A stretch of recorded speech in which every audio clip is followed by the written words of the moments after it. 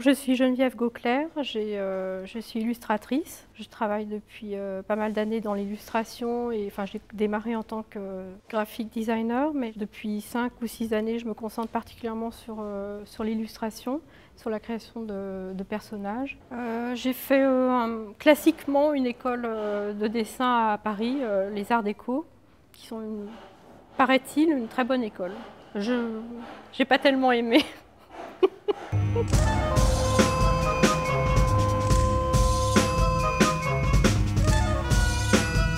Je suis l'une des sept membres de Plex, qui est un collectif euh, qui fait des vidéos particulièrement, soit commerciales, c'est-à-dire des publicités pour différentes agences, soit on, entrecoupe euh, chaque projet commercial par des projets personnels.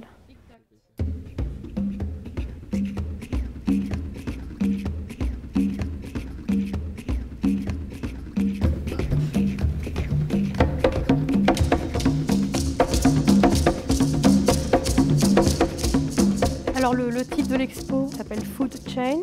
J'ai choisi ce titre parce que les, enfin, c'est deux mots assez courts, assez euh, forts, qui ont un peu, on va dire, deux sens. C'est la, chaîne alimentaire dans le sens de la, de la, survie de, différentes espèces sur la Terre, mais aussi ça a le sens de la, chaîne alimentaire dans le sens d'être enchaîné, c'est-à-dire d'être euh, parfois prisonnier ou d'avoir trop à manger ou bien pas assez, enfin être être enchaîné d'une certaine manière à, la nourriture. C'est plutôt un constat, à travers ce que je constate euh, dans mon quotidien et puis dans, dans, les news, en lisant la presse, etc., en voyant les gens, comment, comment vivent les gens, c'est-à-dire par rapport à la société de consommation, quand on soit dans une société de, profusion, et que parfois on, oublie de temps en temps qu'il y a également un problème de rareté par rapport par rapport aux problèmes de l'eau, de la nourriture, etc., particulièrement en ce moment.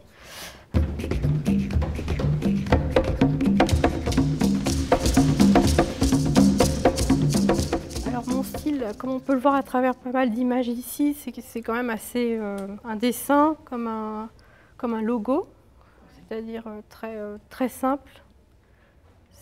Ça, peut difficilement être plus simple, c'est assez coloré aussi, il y a un côté un peu enfantin.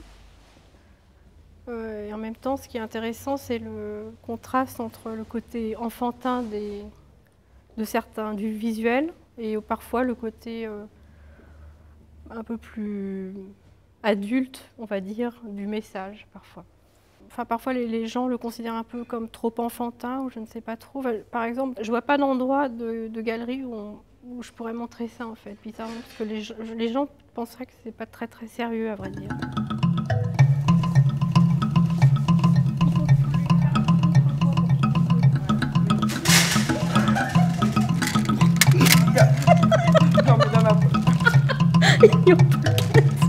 Moi, l'inspiration, elle est issue de la curiosité. Euh, j'essaye d'être curieuse sur plein de domaines. Enfin, l'inspiration, la bonne idée, elle arrive de réunir deux éléments qui ne devraient pas être ensemble.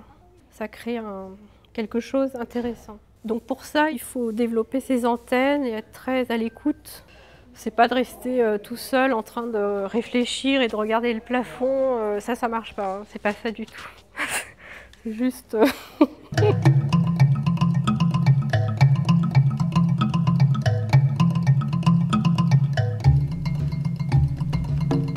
m'amuse à dessiner un personnage dans telle ou telle position. Et ensuite, j'essaye de trouver un élément, euh, un texte ou un, autre élément qui va créer l'idée. Soit parfois, je commence par, euh, là encore, en, en, cherchant sur Internet, je prends des morceaux de texte, je fais des listes et je les mets de côté. Et ensuite, je, je vois, j'ai plein de dessins et plein de textes et j'essaye de faire coïncider les deux. C'est bien de l'illustrer par, euh, si comment dire, s'il n'y a que le texte sans l'image, ça n'a pas grand intérêt en fait. C'est bon, bah oui, tout le monde le sait, mais c'est bien de. Et s'il y a pas, s'il y a l'image et que le, texte n'existe pas, c'est pas non plus très intéressant. Enfin, peu importe. Mais ce qui est bien, c'est les deux connectés.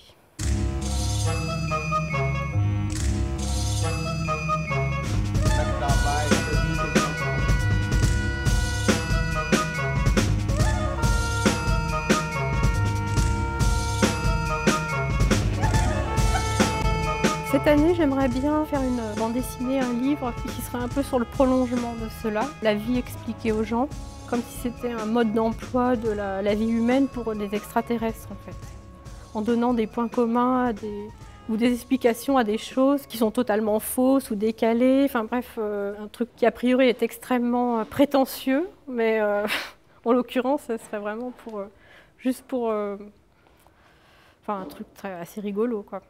Ja, of een muziekje. Nou, ik maak even erbij.